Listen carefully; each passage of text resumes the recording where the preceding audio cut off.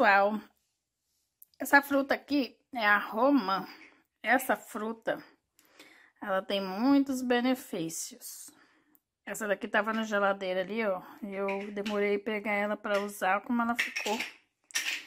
Gente, eu vou cortar ela pra ver se tá boa por dentro. E aí a gente vai fazer um suco com essa fruta aqui. Gente, eu lavei a, a romã, passei uma bucha nela pra tirar aquele bolor que tá por fora. E agora eu vou cortar aqui pra gente ver como que está por dentro. Vou cortar ela assim, ó.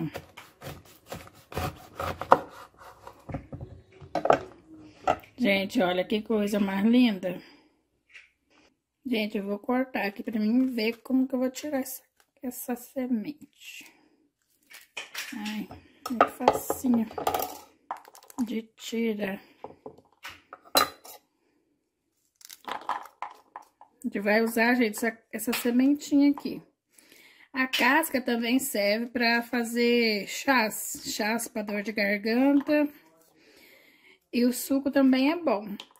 O suco dela é indicado para tratar problema de próstata. Então, os homens que têm problema de inflamação na próstata, prostatite, devem fazer o suco disso aqui. Vamos tirar a semente, porque essa partezinha de dentro, ela é igual o caju verde, né? Isso aqui também, gente, acho que é ótimo pra fazer o chazinho dessa casca, pra quem tem problema com diarreia, né? Tá com diarreia, é só fazer o chazinho dessa casquinha, vamos guardar, deixa secar, guarda. Coloca no congelador, faz alguma coisa assim pra ter em casa, né? Como a gente não consegue direto essa fruta, então quando a gente arruma assim a casquinha, a gente coloca pra secar. Serve muito pra dor de garganta. É bom, gente, fazer isso aqui assim que comprar, porque eu demorei um pouco, a minha já começou um lado da casca já tá meio mofadinho. Gente, eu tirando com cuidadinho aqui pra não estourar os, o líquido que tem na polpa aqui, ó, da, da semente. Gente, ó, rende bastante. Ó, só uma banda. Mas tem muita semente aqui. Vou terminar de tirar aqui depois. Gente, eu achei uma maneira mais fácil de tirar, ó. Eu tiro o miolinho de lá de dentro, depois só vai debulhando assim, ó. Eu só tirei aqui, ó, o miolo de dentro, ó. Fica bem mais fácil. É vivendo e aprendendo, né? Uma pelinha que protege a semente. Daí é só ir debulhando assim, ó. Com cuidadinho que ela esmaga. Se você apertar com força, a semente, ela amassa, né? E sai o suquinho vermelho que tem dentro dela. Então, tem que ser bem delicadinho, assim, o, o trabalho do manuseio aqui, né? Pra tirar essa sementinha, ó. Onde eu apertei aqui, ela já soltou o caldinho.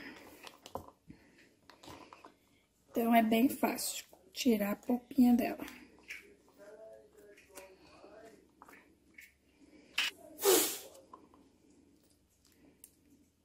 Essa daqui também tá muito boa nesse esse ladinho ali.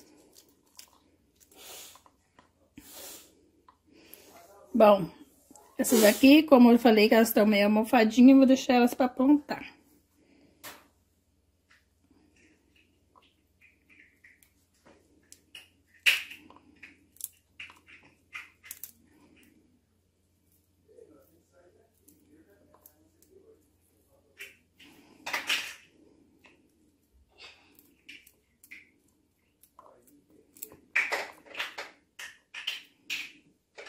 Gente, deu esse tanto aqui de polpa, ó. Acho que dá uma xícara ou mais de polpa.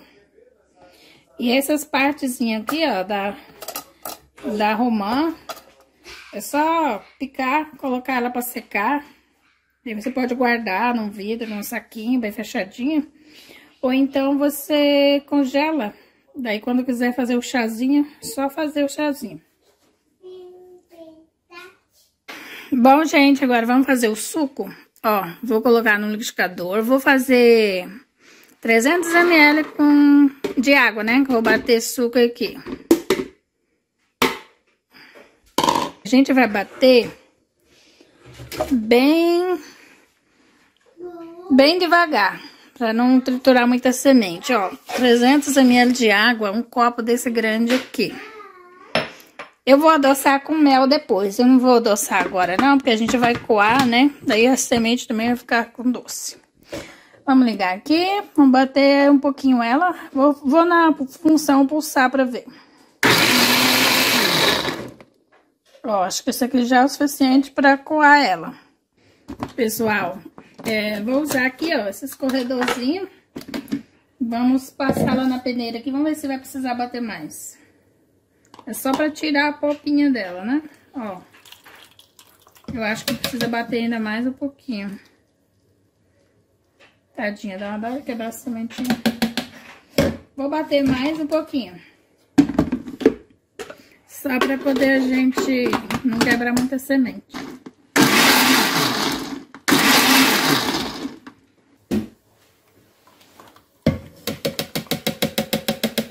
Acho que agora já tá bom só para tirar o líquido da semente.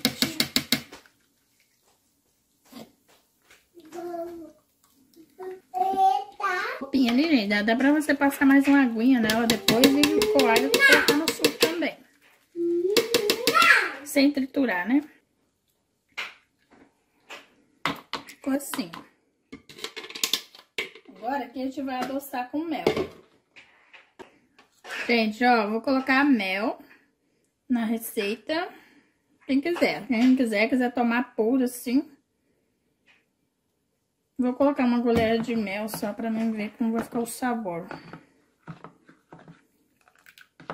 Aí, se a pessoa quiser tomar puro, mas eu vou colocar um pouquinho de mel aqui. Só pra dar um gostinho, né? E o mel também é saudável.